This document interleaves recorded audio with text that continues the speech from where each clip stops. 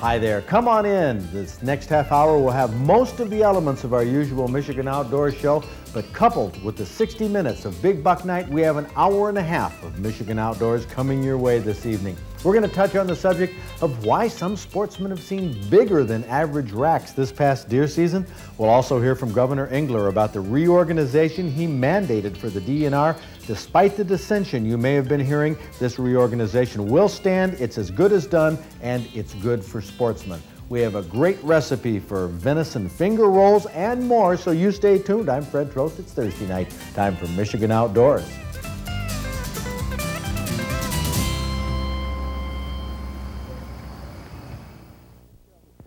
Smoke, how'd you get all those bones in that chicken soup? I learned how to can last year, but I forgot how to bone at the same time. hey, see. no, just wondering, just to get things started. Did you get a buck? Well, we did an archery season, but not on this. Uh, you know, this is the easy part of the hunt, really. Okay, So we're we not- got. How, how many? too. How many guys got bucks here? Hands up. Oh, I mean, it was a great. Zach, congratulations. Thank you. You got the only spike in camp. Mm, I don't know. I thought Was there there was one other. Another another spike there? Yep, only spike opening day.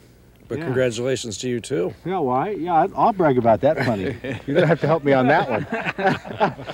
Let's get down here to Mickey Mikesell, owner of the Mikesell Ranch. How's this stack up, Mike? Pretty good. Nine bucks and third day. Pretty good compared to other years. Sure. Well, these bucks, I mean, in years past, when we've Well- been here, they were a lot smaller. Oh yeah. Usually we there's five or six spike horns. We only have two spike horns, uh, three eight points. It's been a good year. What's your record on spike horns in one year? One year we had what was it? 17 and Nine in one day. Yeah, nine nine spike horns in one day, in opening day. All spike horns. Yeah. About four years ago. Three days. Mhm. So what do you make of this? Well, I think the, the deer herd's in pretty good shape up here, except we have too many does and fawns. Yeah. Well, I didn't see all that many. But look at Captain Emil Dean. This is the captain. How he looks in hunting camp. You're a surly looking son of a gun. Thank you. You know that? That's a, that's a compliment coming from you. You know that? that's the nicest thing you said to me in days. yeah, that's right. Well, you, you got a, what, eight point? Got an eight point. Yes. Eight point. Well, great. Congratulations. We'll get back and get, yeah, get a look at some of these racks here. Uh, of course, mine, I'll brag plenty about that. That's uh, next to the end there. But geez, these were beautiful racks. It was a great deer camp. It really was. Good time. Yes, indeed. But those bones and smoked Oh, soup, That was terrible. I don't understand. Deer camp is not over yet. There are more surprises. That's right. Well, what a Deer camp involves a lot more than just deer hunting. It's a week when a group of guys can get together and kick back, cook their own meals, get to know each other outside of the workplace, and have fun. It's a great equalizer. But the objective, at least on paper, is to get a deer, hopefully a big buck. Mickey Mikesell said that a few years ago they got nine bucks on an opening day, all of them spike horns, and for that season the hunters in camp took a record 17 spike bucks. Now that's a lot of small deer. But why do deer populations vary so much from year to year? Well, actually, it's a predictable phenomenon. Mild winters, like we've had the past few years, have higher temperatures, which makes the deer less stressed and they don't need as much food. At the same time, less snow and ice in a mild winter makes more food available to the deer. And all in all, in a mild winter, more deer survive in healthy condition, and healthy does have more fawns. Twins and triplets are common among healthy deer after a mild winter. And when reproduction goes up, regulated hunting is the only practical tool wildlife biologists have to harvest these extra deer and keep the population from eating itself out of house and home. A high population that's short on food starts a cycle of starvation, which isn't pretty. It's nature at its cruelest. And with starvation comes a lot of habitat destruction because the starving animals try to eat everything in sight. That's why modern hunting is practical. It provides game meat for people to eat, prevents habitat destruction, and prevents the waste of starving deer that would rot in the woods. A large number of deer in the woods isn't necessarily the goal of wildlife management. The goal is to maintain a population that's as large as possible as long as it's as healthy as possible so it stays in balance with its food supply. Keeping a population constant means that each year as many animals have to die as are born. For every fawn that comes to life in the spring, Another deer must die, or else that population will grow. And when the population grows, we have more car deer accidents, we have more crop damage, we have more overbrowsing of cedar swamps, and when we hit a harsh winter, we have widespread starvation of deer. So, the primary objective of hunting from a wildlife manager's point of view is to keep the population of deer under control. But within this goal, there can be other objectives, such as growing larger deer or bucks with larger, more symmetrical racks. Mike Ferrantino owns 4,000 acres adjacent to Mickey Mikesell's property in Clare. That's the area I hunted this season. Mike dropped by the Mikesell camp several times during the first few days. He was wondering what kind of bucks we were seeing. It's been his theory since he bought the 4,000 acres four years ago that by taking only the small bucks with the scrubby racks, which is the only deer he allowed to be taken by his hunters in the past four years, that they'd leave deer with better racks to reproduce. After four years, the Ferrantino plan seems to have worked. More bigger bucks with symmetrical racks were taken this season from these two hunting camps than any year in recent memory. Big bucks are always a fascination to hunters and to anybody who likes to see wild creatures. We're going to explore this subject a little more this winter, talking with Mike Ferrantino and wildlife biologists. There may be ways that Michigan can develop more bigger bucks than we have now. That's an exciting thought, don't you think?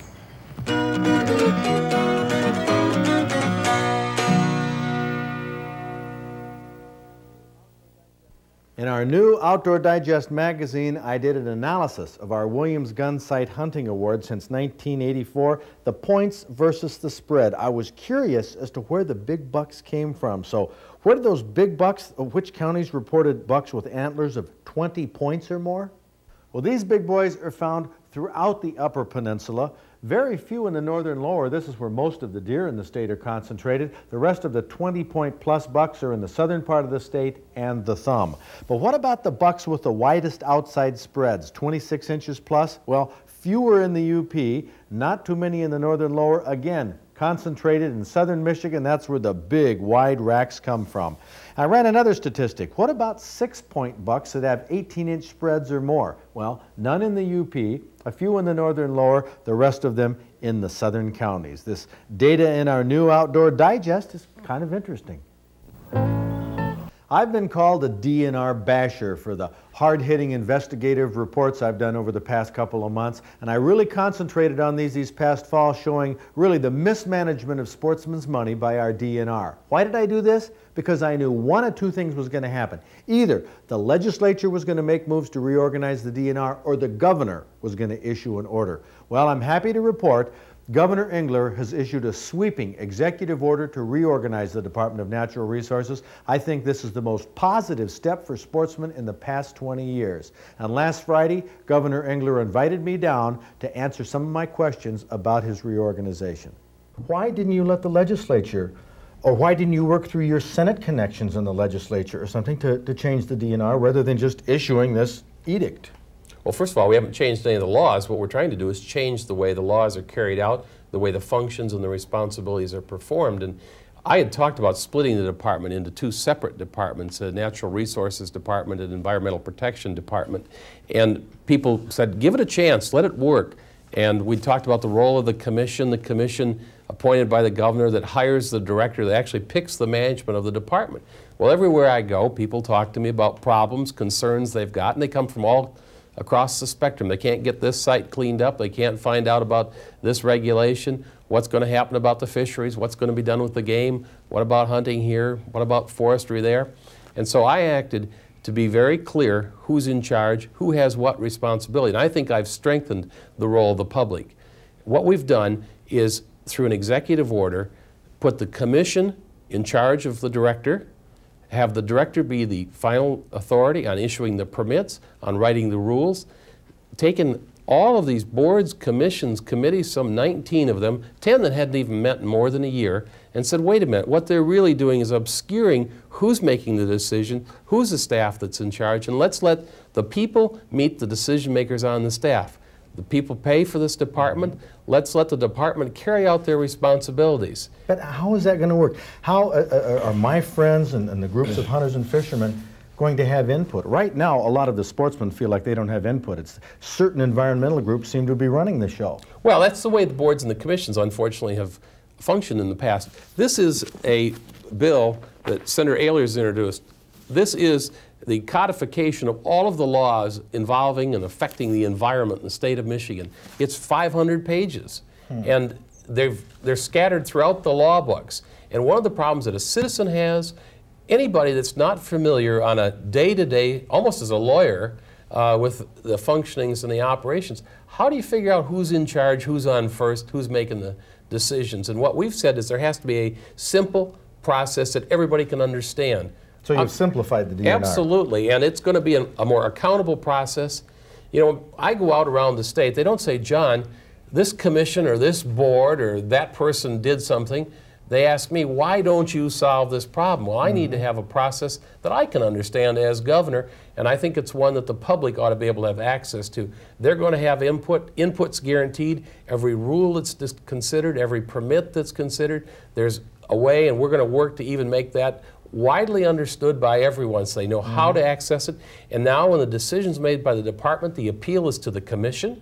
So if you're unhappy, there's seven individuals appointed by the governor who can sit in judgment. They can reverse it or they can modify it. But what about this? This criticism is going all over in the press. All of the writers are saying he's ruined it. He's taken public input out of the process. Well, I think that remains to be seen, and I the mean, proof will be in the pudding. That is simply not accurate. I believe that we've strengthened the role of the public, the public accountability will be greater than it's been in the past, and the process is going to work better. And that's the important thing. I mean, are the fisheries going to get better? Is the hunting going to be better? Is the regulation of the same improved?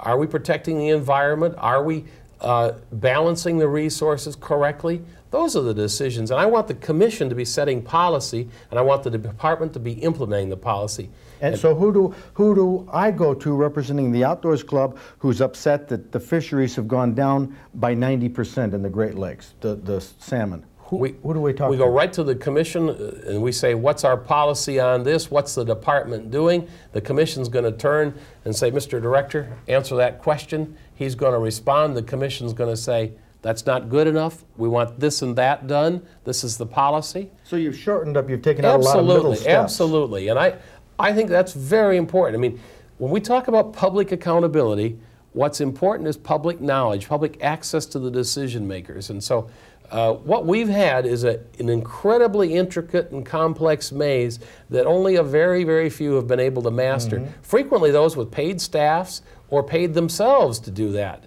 And uh, you know, for the average hunter or fisherman or sportswoman out there, you know, I'm a part-time. I'm, I'm working. I'm earning my living, and then this is what I do for recreation. This is my enjoyment in life, and I don't have all this time to hire a lobbyist. And what I want to do is, if I got a problem, I want to know where I can go. And you ought to be able to go to a legislator. You ought to be able to go to the commission. You ought to be able to get answers. And I'm going to make sure the department's going to be responsive.